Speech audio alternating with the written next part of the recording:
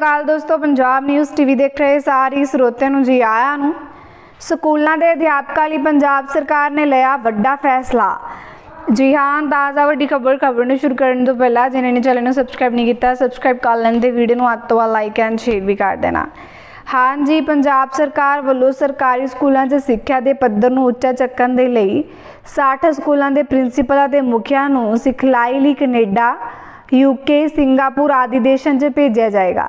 Cabinet ਮੰਤਰੀ ਪੰਜਾਬ ਹਰਜੋਤ ਬੈਂਸ ਨੇ ਆਖਿਆ ਕਿ ਸੂਬਾ ਸਰਕਾਰ ਵੱਲੋਂ ਸਿੱਖਿਆ ਦਾ ਪੱਧਰ ਉੱਚਾ ਚੱਕਣ ਲਈ 60 ਸਕੂਲਾਂ ਦੇ ਪ੍ਰਿੰਸੀਪਲ ਤੇ ਮੁਖੀਆਂ ਨੂੰ ਸਿਖਲਾਈ ਲਈ ਕੈਨੇਡਾ, ਯੂਕੇ, ਸਿੰਗਾਪੁਰ ਆਦਿ ਦੇਸ਼ਾਂ 'ਚ ਭੇਜਿਆ ਜਾਏਗਾ। ਸ੍ਰੀ ਬੈਂਸ ਨੇ ਦੱਸਿਆ ਕਿ ਮੌਜੂਦਾ ਸੂਬੇ 'ਚ 20000 ਸਰਕਾਰੀ ਸਕੂਲ ਨੇ ਤੇ ਇਹਨਾਂ ਵਿੱਚ 400 ਸਕੂਲਾਂ 'ਚ ਕੋਈ ਅਧਿਆਪਕ ਨਹੀਂ, ਜਦਕਿ 1600 ਸਕੂਲਾਂ 'ਚ ਸਿਰਫ ਇੱਕ ਇੱਕ ਅਧਿਆਪਕ ਨਾਲ ਹੀ ਕੰਮ ਚੱਲ ਰਿਹਾ ਹੈ। ਸਰਕਾਰ ਵੱਲੋਂ ਸਕੂਲਾਂ 'ਚ ਕਲਾਸਰੂਮ ਲੈਬ ਸਟਾਫ ਖੇਡ ਮੈਦਾਨ, ਪੈਖਾਨੇ, ਡੈਕਸ ਆਦਿ ਦੀ ਜਾਣਕਾਰੀ ਲਈ ਸਰਵੇਖਣ ਕੀਤਾ ਜਾ ਰਿਹਾ ਹੈ।